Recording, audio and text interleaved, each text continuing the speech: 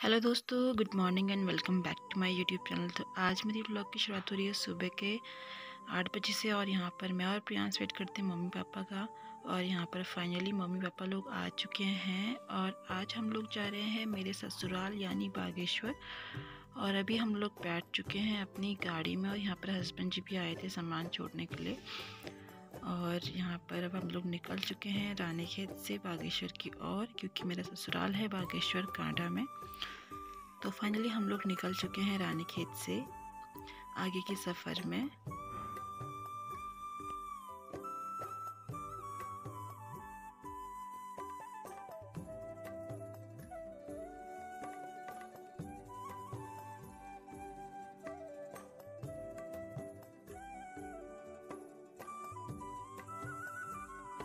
तो दोस्तों फाइनली यहाँ पर हम लोग पहुँच चुके हैं सोमनाथ ग्राउंड के पास और यहाँ पर प्रियांश बैठा है दादी जी के पास और वो यहाँ पर बहुत खुश है क्योंकि वो बहुत टाइम बाद अपने दादा दादी से मिल रहा था।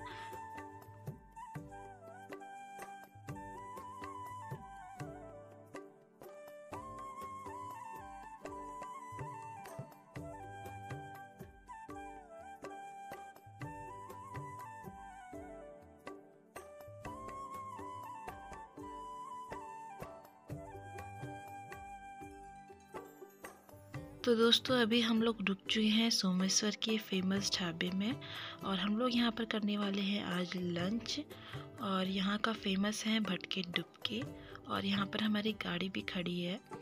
तो बात की जाए यहाँ के मौसम की तो ये सोमेश्वर में हो रहा है, बहुत ज़्यादा ठंडा, ठंडी ठंडी हवा चल रही है यहाँ पे और औरतें यहाँ पर कर रही हैं अपना काम। वो लोग ला रहे हैं यहाँ पे अपने पेट में घास और यहाँ पर चारों तरफ़ हरियाली हरियाली नज़र आ रही है। तो दोस्तों, हम लोग लंच करने के बाद निकल चुके हैं अपने आगे के सफ़र में। और यहाँ पर मेरे दाएँ और बाएँ तरफ़ दोनों ही तरफ़ हरे भरे खेत नज़र आ रहे हैं, जो कि बहुत ही सुंदर लग रहे हैं यहाँ पे।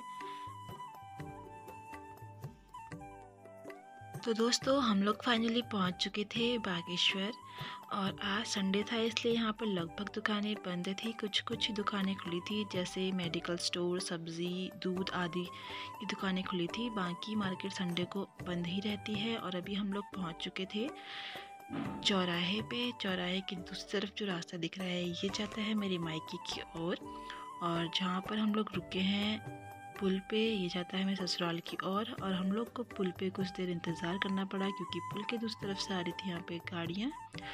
तो हम लोग को लगभग यहाँ पे पाँच से दस मिनट वेट करना पड़ा। उसके बाद हम लोग निकल चुके थे यहाँ से आगे की ओर।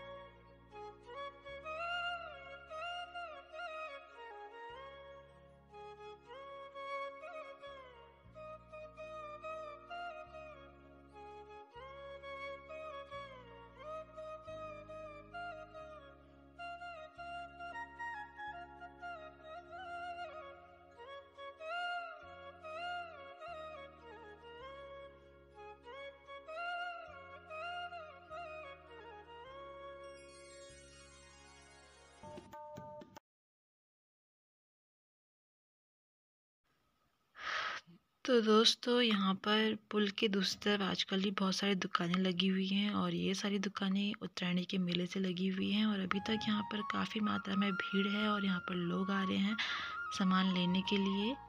और यहाँ पर बहुत अधिक मात्रा में लोग अपनी शॉपिंग कर रहे हैं यहाँ से। और अभी हम लोग निकल चुके हैं अपने ससुराल की ओर, क्योंकि हम लोगों ने यहाँ से कोई सामान नहीं लेना था तो हम लोग सीधा चले गए अपने घर की ओर। और शाम भी होने वाली थी तो इसलिए हम लोग को घर थोड़ा जल्दी आना था और बागेश्वर से मेरा ससुराल लगभग ढाई, तीन, ढाई ढाई घंटे का रास्ता है।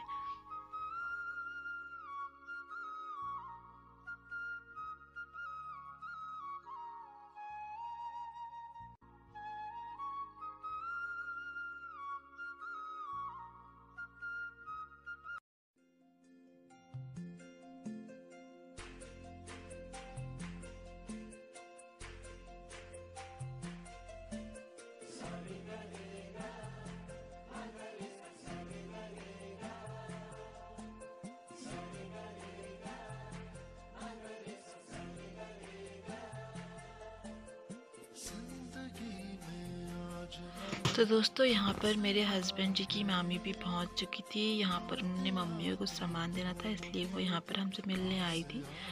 और यहाँ पर प्रियांश ने भी सामान ले लिया था और कुछ देर बात करने के बाद हम लोग निकल चुके थे यहाँ से आगे की ओर।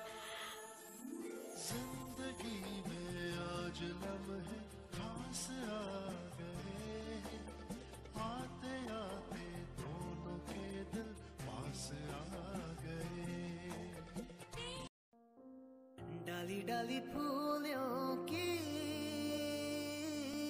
तुझको बुलाए रे मुसाफिर। तो दोस्तों, बागेश्वर से कुछ देर चलने के बाद यहाँ पर हमारा गाड़ी का टायर हो चुका था पंचर और पहाड़ों में लगभग शाम को सारी दुकानें बंद हो जाती हैं और दुकानें यहाँ पे बहुत दूर दूर होती है। तो पापा ने यहाँ पर खुद ही अपनी गाड़ी का टायर चेंज किया।